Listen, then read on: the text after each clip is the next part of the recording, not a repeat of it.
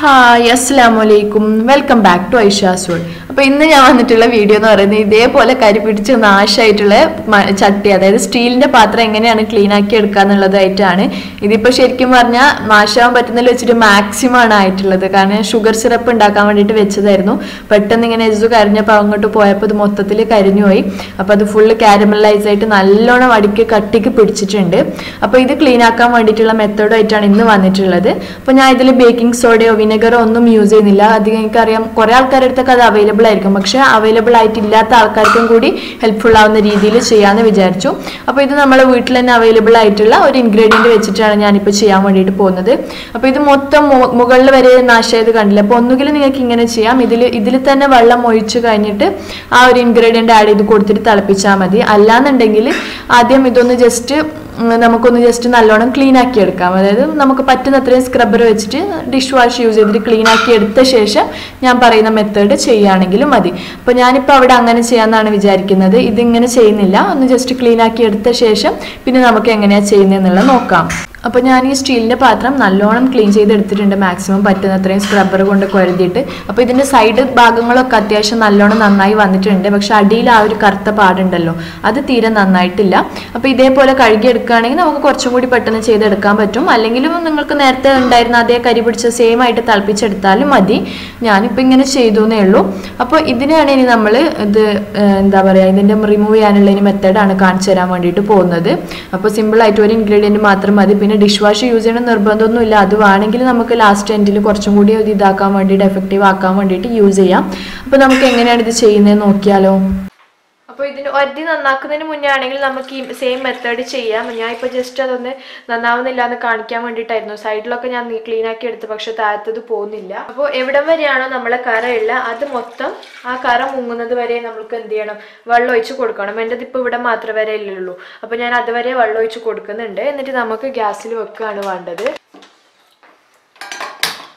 അപ്പോൾ ഞാൻ ഈ വെള്ളം ഇനി തിളപ്പിക്കാൻ വേണ്ടിയിട്ട് വെക്കാം. നമുക്ക് ആദ്യം വെള്ളം തിളച്ച് കഴിഞ്ഞിട്ടാണ് നമ്മൾ ഇൻഗ്രീഡിയന്റ് ആഡ് ചെയ്ത് കൊടുക്കേണ്ടത്. ഞാൻ പറഞ്ഞത് നിങ്ങളുടെ മുകളിൽ വരെ കറ ഉണ്ടെന്നുണ്ടെങ്കിൽ മുക്കാൽ ഭാഗത്തോളം ഉണ്ടെന്നുണ്ടെങ്കിൽ മുക്കാൽ ഭാഗത്തോളം വെള്ളം ഒഴിച്ച് കൊടുക്കണം കേട്ടോ. ഞാനിപ്പോൾ ഓൾറെഡി കുറച്ച് ക്ലീൻ ചെയ്തതുകൊണ്ടാണ് ഇത്രയും ഒഴിച്ച് കൊടുത്തത്. അപ്പോൾ ഇതൊന്ന് തിളച്ച് വരട്ടെ. ആ സമയത്താണ് നമ്മൾ ഇൻഗ്രീഡിയന്റ് ആഡ് ചെയ്ത് കൊടുക്കേണ്ടത്. ഹൈ ഫ്ലെയിമിൽ തന്നെ വെച്ചിട്ട് എന്ത് ചെയ്യുക? വെള്ളം തിളപ്പിക്കുക. നമ്മൾ വെള്ളം ഏകദേശം ജസ്റ്റ് ഒന്ന് തിളച്ച് വരാൻ തുടങ്ങിയിട്ടുണ്ട്. അപ്പോൾ ഈ സമയത്ത് നമ്മളെ ഇൻഗ്രീഡിയന്റ് അതായത് ഞാൻ ഇവിടെ ആഡ് ചെയ്ത കൊടുക്കാൻ പോകുന്നത് രണ്ട് ടീസ്പൂൺ അല്ലെങ്കിൽ മൂന്ന് ടീസ്പൂൺ വരെ രണ്ട് ടീസ്പൂൺ മുതൽ സോറി ടേബിൾ സ്പൂൺ കേട്ടോ രണ്ട് ടേബിൾ സ്പൂൺ മുതൽ മൂന്ന് ടേബിൾ സ്പൂൺ വരെ സോപ്പ് പൊടിയാണ് നമ്മൾ ആഡ് ചെയ്ത് കൊടുക്കേണ്ടത്.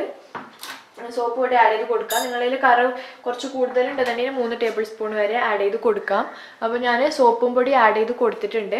ഇനി ഇത് തിളക്കണം. ഇതിപ്പോൾ നല്ലോണം എടുത്ത് തിളച്ച് വരും കണ്ടില്ലേ പൊങ്ങി ഇങ്ങനെ വരും. അപ്പോഴത്തേനും ഒരു ലോ ഫ്ലെയിമിലാക്കി കൊടുക്കണം കേട്ടോ. കാരണം പാൽ പോലെ ഇതേപോലെ പൊങ്ങി വന്നിട്ട് തിളച്ച് ചിന്താനുള്ള ചാൻസ് ഉണ്ട്.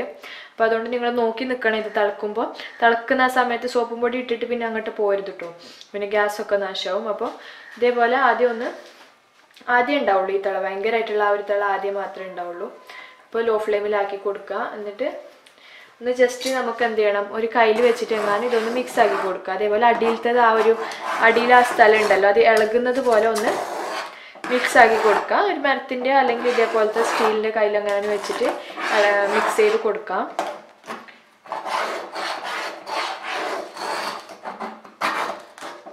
അപ്പോൾ ഇത് ഇടയ്ക്കിടയ്ക്ക് ചെയ്യണം. ഇനി ഞാൻ എന്താ ചെയ്യാൻ പോകുന്നത് വെച്ചാൽ ഇത് മീഡിയം ഫ്ലെയിമിൽ വെച്ചിട്ട് ഒരു പതിനഞ്ച് മിനിറ്റ് നേരം എന്തായാലും നിങ്ങൾ പതിനഞ്ച് മിനിറ്റ് നേരം വെക്കണം മീഡിയം ഫ്ലെയിമിൽ കുറേ ടൈം എടുത്താൽ നമ്മൾ വിചാരിച്ച പോലെ ഇളകി കിട്ടില്ല. അപ്പം പതിനഞ്ച് മിനിറ്റ് എന്തായാലും വെക്കുക. ഒരു പതിനഞ്ച് മിനിറ്റ് നേരം ഈ സോപ്പും പൊടീനെ ഈ വെള്ളവും തിളക്കാൻ വേണ്ടിയിട്ട് വെയിറ്റ് ചെയ്യണം. ഇത് വെള്ളം തിളച്ച് തളിച്ചിട്ട് വെള്ളം നല്ലോണം കുറഞ്ഞുകൊണ്ട് വരും. എന്താ എന്തായാലും വെള്ളം തിളച്ചാൽ ഇതാവുമല്ലോ വെള്ളം ആവിയിൽ പോയിട്ട് വെള്ളത്തിന്റെ അളവൊക്കെ കുറഞ്ഞു കുറഞ്ഞു വരും. പക്ഷെ എന്തായാലും ഒരു മിനിമം പതിനഞ്ച് മിനിറ്റ് നേരമെങ്കിലും നിങ്ങൾ എന്ത് ചെയ്യണം? ഇത് ഇതേപോലെ തിളക്കാൻ വേണ്ടി വെക്കണം. എന്നാൽ മാത്രമേ നമ്മൾ വിചാരിച്ച പോലത്തെ റിസൾട്ട് കിട്ടുള്ളൂ. അപ്പോൾ ഞാൻ മീഡിയം ഫ്ലെയിമിൽ വെച്ചിട്ട് ഞാൻ ഒരു പതിനഞ്ച് മിനിറ്റ് നേരം ഇത് എന്ത് ചെയ്യാൻ പോവാണ്? വെള്ളം തിളപ്പിക്കാൻ പോവാണ്. ആദ്യം മാത്രം ഭയങ്കരത്തിൽ തിളച്ച് വന്നിരുന്നല്ലോ. ഇപ്പം അങ്ങനെ തിളച്ച് പൊങ്ങില്ല. ഇപ്പം ഒരു ഭയങ്കരത്തിലൊന്ന് തിളക്കുന്നേ ഉള്ളൂ പക്ഷെ നല്ലോണം അങ്ങനെ പൊങ്ങി വന്നിട്ട് നാശാവില്ല. അതിന്റെ ഒരു കുറച്ച് വെള്ളമല്ലേ ഉള്ളൂ. കൂടുതൽ വെള്ളം ഉണ്ടെങ്കിൽ സൂക്ഷിക്കുക കേട്ടോ. അപ്പോൾ ചിന്താതെ. അപ്പോൾ ഇതിങ്ങനെ ആയിട്ടുണ്ട്. ഇനി ഞാൻ ഒരു പതിനഞ്ച് മിനിറ്റ് നേരം ഇതേപോലെ തന്നെ വെക്കാൻ പോവാണ്. അത് കഴിഞ്ഞിട്ട് നമുക്ക് എന്താ ഇതിന്റെ അവസ്ഥ എന്നുള്ളത് നോക്കാം. അപ്പോൾ ഏകദേശം ഒരു അഞ്ച് മിനിറ്റ് ഒക്കെ കഴിഞ്ഞിട്ടുണ്ട്. ഇടയ്ക്കിടയ്ക്ക് ഇതിന്റെ അടിയിൽ ഇളക്കി കൊടുക്കാൻ മറക്കരുത് കേട്ടോ. കയ്യിലുണ്ട് ഇളക്കി കൊടുക്കുകയാണെങ്കിൽ ഒന്നും കൂടി എളുപ്പത്തിൽ നമുക്കത് ഇളകി കിട്ടും. സൈഡിലൊക്കെ ഇതേപോലെ ചെയ്യാം. കണ്ടോ? ഇപ്പം നമ്മൾ നിങ്ങൾക്ക് കാണുന്നുണ്ടാവുമായിരിക്കും. ഇതേപോലെ ഇളക്കുമ്പോൾ തന്നെ അതൊക്കെ ഇളകി വരുന്നുണ്ട്.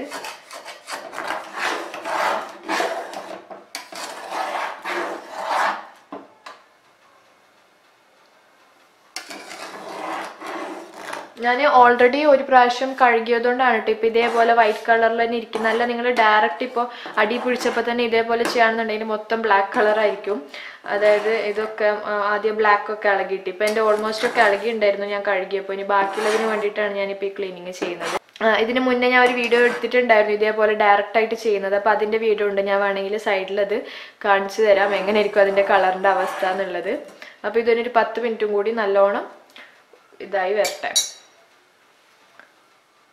അപ്പോൾ ഇത് ഏകദേശം പതിനഞ്ച് മിനിറ്റ് ആയിട്ടുണ്ട് കേട്ടോ ഏകദേശം പതിനഞ്ച് മിനിറ്റ് ആയി. ഞാൻ ഒന്നുകൂടി ജസ്റ്റ് ഒന്ന് അടിയിൽ നിന്ന് ഇളക്കി കൊടുത്ത ശേഷം ഇത് ഫ്ലെയിം ഓഫ് ചെയ്യാൻ പോവാണ്. എന്നിട്ട് നമുക്ക് എന്ത് ചെയ്യാം? ഇത് വെള്ളം വേറൊരു പാത്രത്തിലേക്ക് അല്ല സോറി വെള്ളം കളയാം. അത് കഴിഞ്ഞിട്ട് നമുക്ക് എങ്ങനെയാണ് ക്ലീൻ ചെയ്യേണ്ടതെന്നുള്ളത് നോക്കാം. അപ്പോൾ ഞാനിതിന്റെ വെള്ളം കളഞ്ഞിട്ടുണ്ട്. ഇനി നമ്മൾ ചെയ്യേണ്ടത് ഇതിലേക്ക് നോർമലി ഡിഷ് വാഷ് യൂസ് ചെയ്തിട്ട് നമ്മൾ സ്ക്രബ്ബർ വെച്ചിട്ട് ക്ലീൻ ചെയ്യുമല്ലോ കിച്ചണിൽ യൂഷ്വലി യൂസ് ചെയ്യുന്ന സ്റ്റീലിന്റെ സ്ക്രബ്ബർ വെച്ചിട്ട് ക്ലീൻ ചെയ്ത് കൊടുക്കുക എന്നുള്ളതാണ്.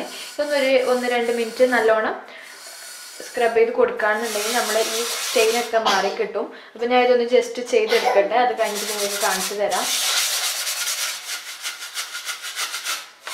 കുറച്ചും കൂടി എഫക്റ്റീവ് ആവാൻ വേണ്ടി ഞാൻ കുറച്ച് ഉപ്പും കൂടി ഇതിലേക്ക് ആഡ് ചെയ്ത് കൊടുക്കുന്നുണ്ട് സ്ക്രബ് ചെയ്യുന്ന സമയത്ത്. കൂടി ആഡ് ചെയ്തിട്ട് നല്ലോണം ഒന്ന് കൊടുക്കുക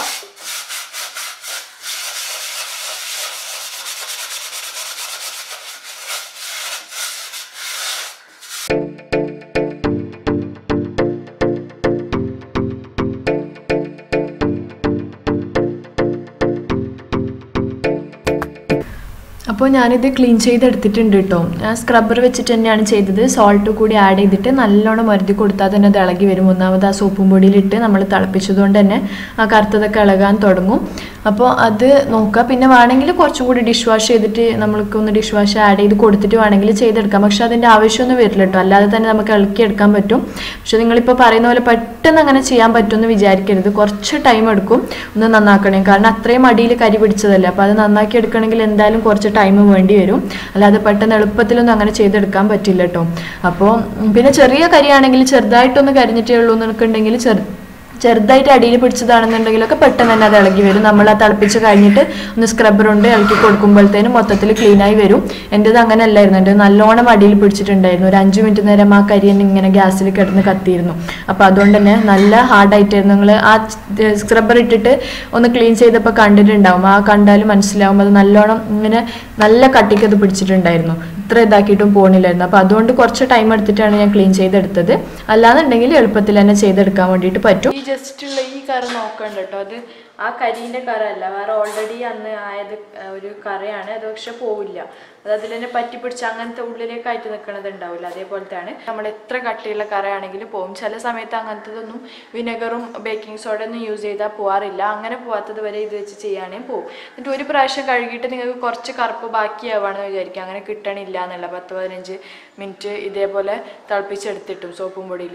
അങ്ങനെ പറ്റുകയാണെന്നുണ്ടെങ്കിൽ ഒന്ന് കഴുകിയെടുത്ത ശേഷം ഒന്ന് എല്ലാം ക്ലീനായി ചെയ്യില്ല ഒന്നും കൂടി അതേപോലെ വെള്ളം വെച്ചിട്ട് ചെയ്യുകയാണെന്നുണ്ടെങ്കിൽ നമുക്ക് പാത്രം കറക്റ്റ് ക്ലീനായിട്ട് കിട്ടും. അപ്പോൾ എല്ലാവരും നിങ്ങളിത് ട്രൈ ചെയ്ത് നോക്കുക. ശരിക്കും എഫക്റ്റീവ് ആണ്. അപ്പോൾ നിങ്ങൾക്ക് എല്ലാവർക്കും വീഡിയോ ഇഷ്ടപ്പെട്ടു വിചാരിക്കുന്നു. ഇഷ്ടപ്പെട്ടെങ്കിൽ ലൈക്ക് ചെയ്യാനും ഷെയർ ചെയ്യാനും അതേപോലെ തന്നെ സബ്സ്ക്രൈബ് ചെയ്യാനും മറക്കരുത്.